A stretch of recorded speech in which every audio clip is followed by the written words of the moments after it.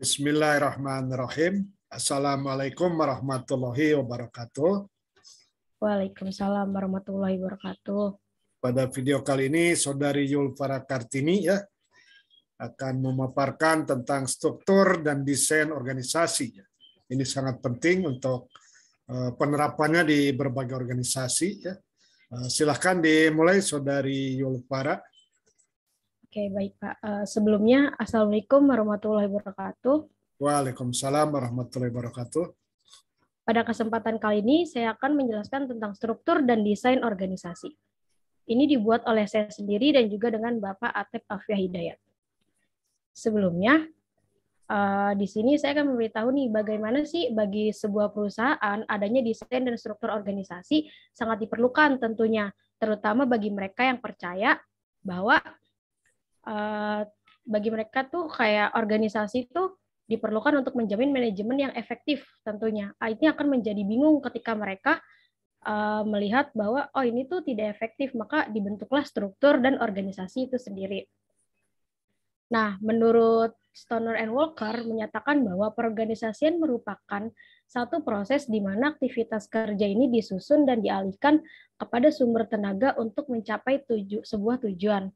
Nah, di sini juga ada menurut Robbins uh, menyatakan bahwa struktur organisasi ini menempatkan bagaimana tugas akan dibagi, siapa yang melapor kepada siapa tentunya, serta mekanisme koordinasi yang formal dan pola interaksi yang diikuti. Nah, struktur organisasi ini bisa kita simpulkan bahwa uh, ini adalah susunan dan hubungan antara tiap bagian baik secara posisi maupun tugas yang di perusahaan itu sendiri dalam menjalin kegiatan operasional untuk mencapai sebuah tujuan. Nah, organizing ini sendiri itu berasal dari kata organism yang artinya itu untuk menciptakan suatu struktur dengan bagian-bagian yang diintegrasikan. Nah, sehingga mempunyai hubungan saling berpengaruh antara satu dengan yang lainnya. Nah, menurut KBBI, struktur ini juga uh, adalah cara sesuatu itu disusun atau dibangun seperti itu.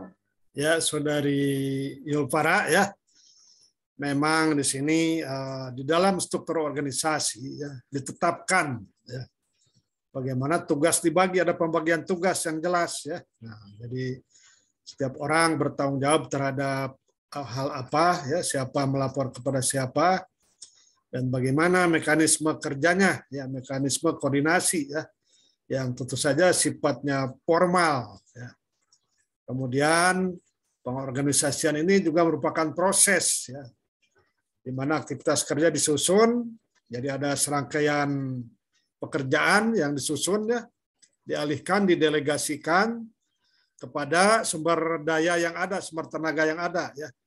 Tentu saja untuk mencapai tujuan visi dan misi perusahaan. Ya. Jadi memang eh, setiap organisasi termasuk perusahaan atau organisasi lainnya ya memerlukan suatu struktur di mana susunannya cukup jelas ya. Hubungan antar uh, lini cukup jelas antar bagian ya.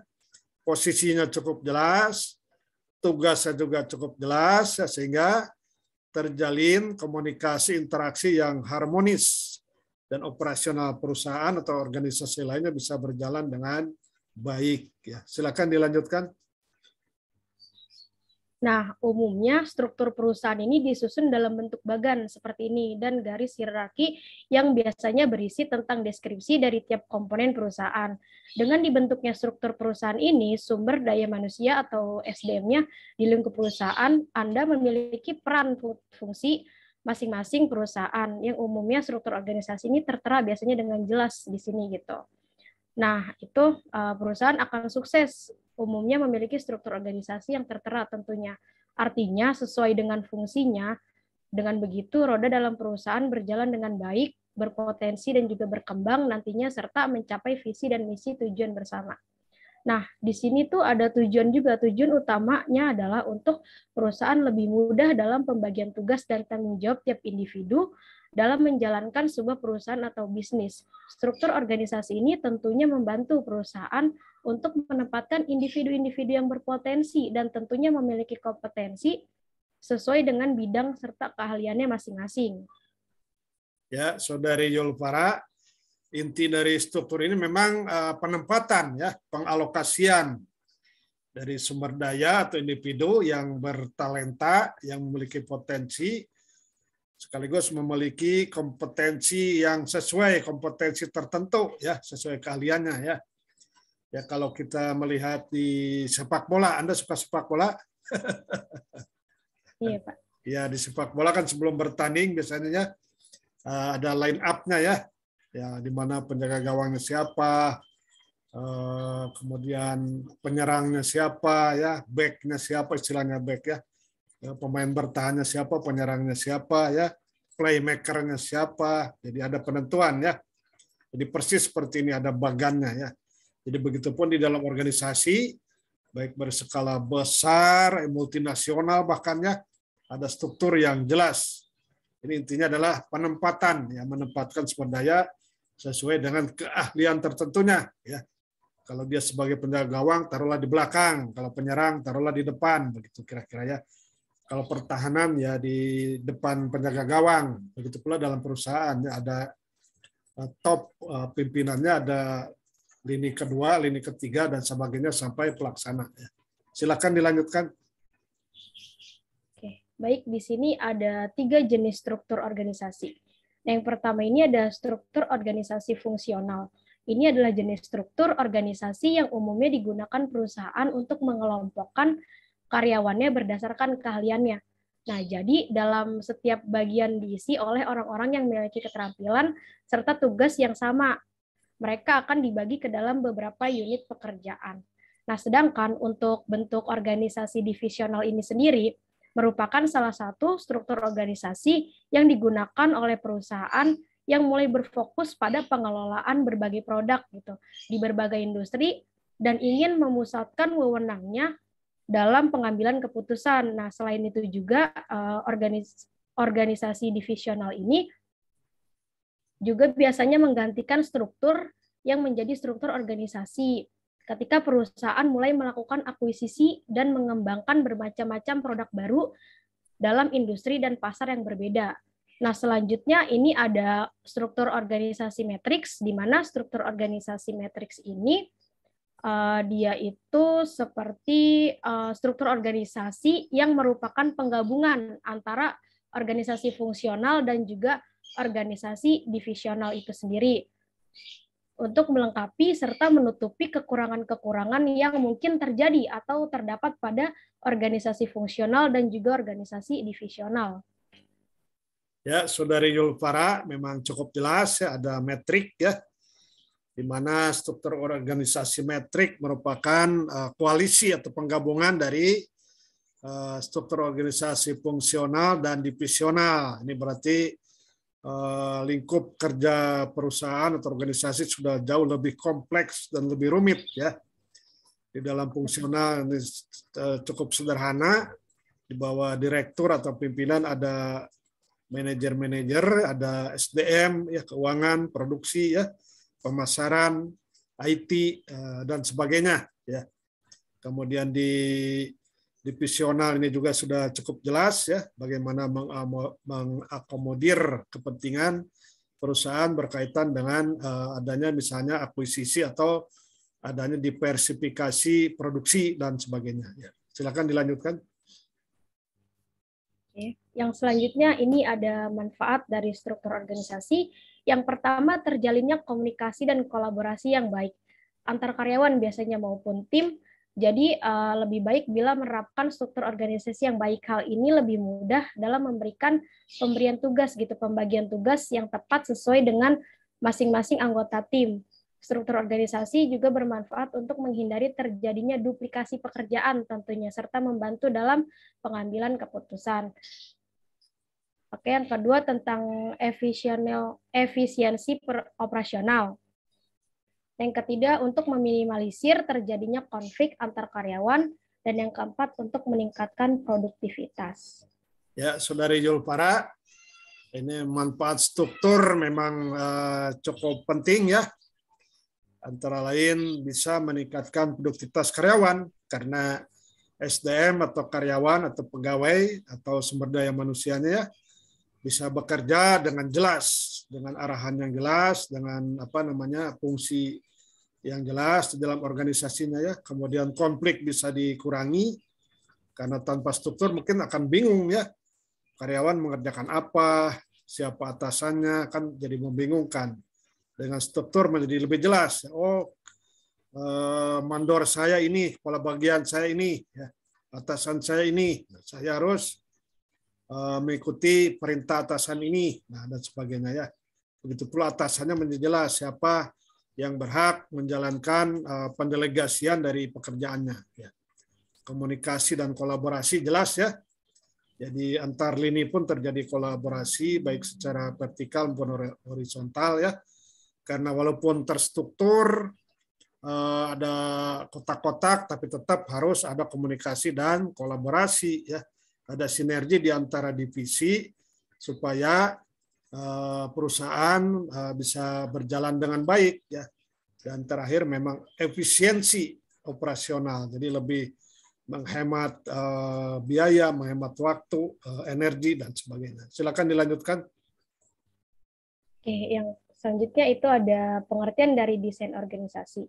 Nah, desain organisasi adalah suatu model yang dipilih oleh organisasi untuk melakukan koordinasi dan pengendalian tugas-tugas dalam dalam berbagai uh, dalam berbagai organisasi di dalamnya bagaimana seluruh anggota organisasi dimotivasi agar mengeluarkan segenap energinya dan juga kemampuannya untuk memaksimalkan kemampuan dan sumber daya organisasi dalam memproses serta menciptakan dan juga menghasilkan sesuatu yang bernilai tentunya bagi organisasi barang maupun jasa.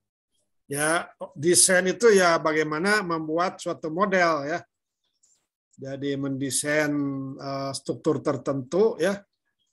Menjadi model tertentu. Ini diharapkan nanti di dalam organisasi itu bisa lebih terkoordinir, lebih mudah dikendalikan ya. Kemudian pendelegasian tugas menjadi lebih uh, sederhana dan lebih mudah ya. Dan seluruh organisasi, seluruh SDM menjadi lebih termotivasi sehingga energi, kemampuan, talenta semuanya ya bisa tersalurkan dengan baik untuk tercapainya tujuan eh, bahkan visi dan misi eh, perusahaan ya begitu silakan dilanjutkan Oke, selanjutnya ada proses dalam mendesain organisasi itu sendiri gitu. Yang pertama adalah tentunya pembagian kerja. Hal ini adalah proses membagi pekerjaan menjadi jabatan-jabatan yang lebih spesifik untuk memaksimalkan manfaat dari spesialisasinya sendiri. Nah, yang kedua ada departemen departementalisasi. Nah, ini e, berfungsi untuk mengelompokkan pekerjaannya tergantung pada kebutuhan untuk mengkoordinasikan pekerjaan tersebut. Nah, selanjutnya ada pendelegasian wewenang yang merupakan proses pembagian kewenangan dari atas ke bawah tentunya dalam suatu organisasi. Nah, yang terakhir itu ada rentang kendali di mana jumlah bawahannya yang melapor kepada atasan ini merupakan faktor yang cukup mempengaruhi bentuk dan tinggi struktur dari organisasinya itu sendiri. Ya, Saudari Yulpara, rentang kendali di sini yang paling menarik ya. Bagaimana skop dari suatu organisasi dengan struktur yang ada ini harus diperhatikan ya.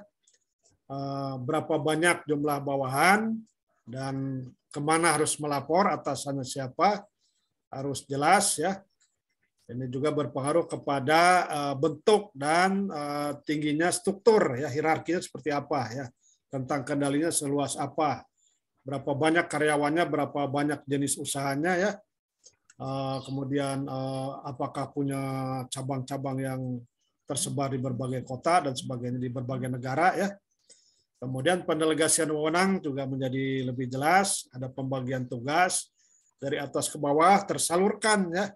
Tidak ada yang mengendap, tidak ada yang apa namanya eh, tersimpan, tapi tetap berjalan sebagaimana seharusnya dalam struktur ya, mengalir begitu ya. Tidak ada yang mempet ya.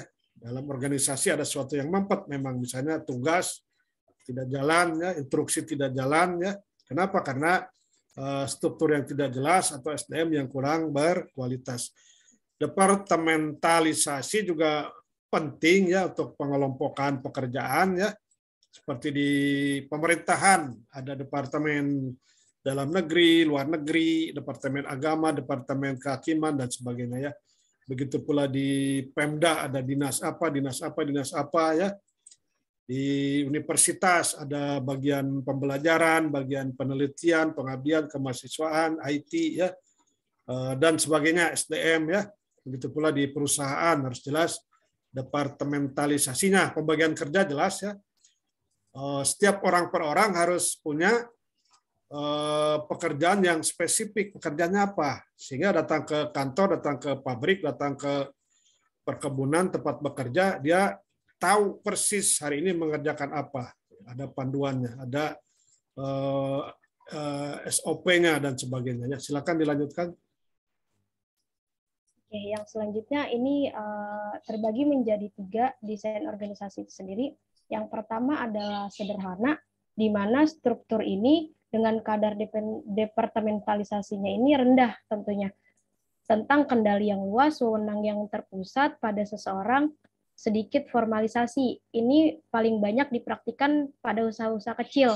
Nah, yang kedua itu ada birokrasi, di mana struktur dengan tugas operasinya rutin yang mencapai spesialisasi. Nah, ketentuan ini uh, sangat formal, tugasnya dikelompokkan pada departemen yang fungsional, wewenangnya juga yang terpusat, dan pengambilan keputusannya mengikuti rantai komando.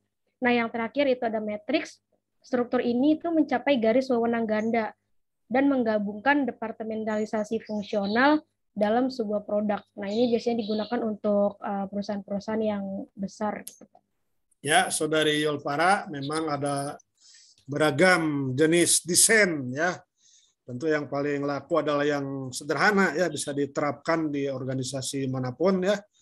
Karena di sini ada struktur dan uh, hierarki atau tingkatan atau kadar departementalisasi yang uh, rendah ya tentang kendalinya juga terbatas ya.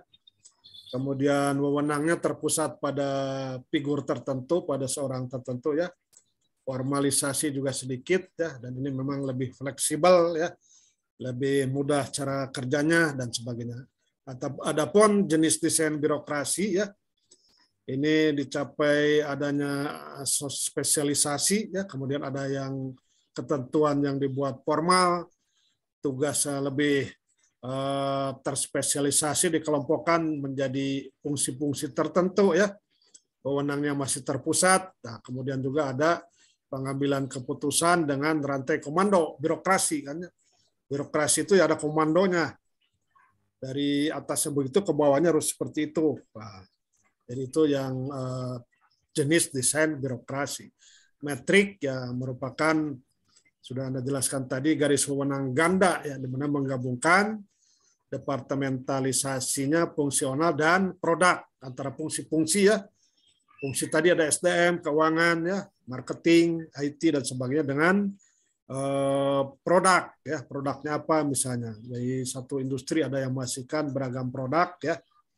Kalau di pabrik tertentu ada juga yang menghasilkan eh, berbagai eh, produk tertentu ya. Begitu pula di organisasi lain ya Eh, di jasa misalnya eh, apa hasilnya ya ini digabungkan dengan uh, fungsional ini dikenal dengan jenis desain organisasi metrik ya silakan dilanjutkan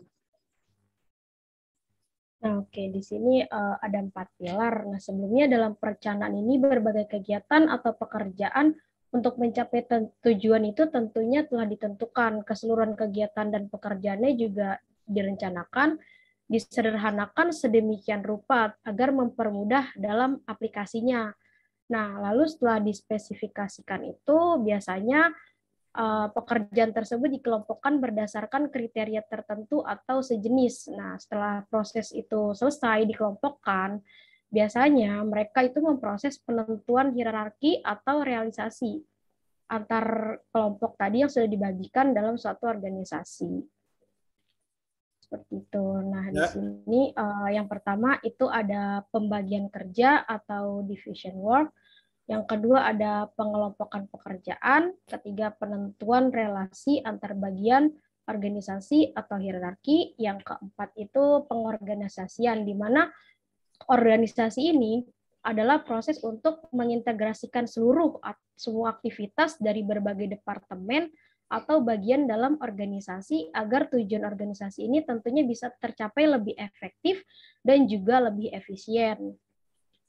Ya, Saudari Yulpara, memang ini ada empat pilar dalam organisasi yang penting uh, untuk diperhatikan oleh para organisatoris ya. Jadi orang yang terlibat dalam organisasi, aktivis organisasi namanya organisatoris ya.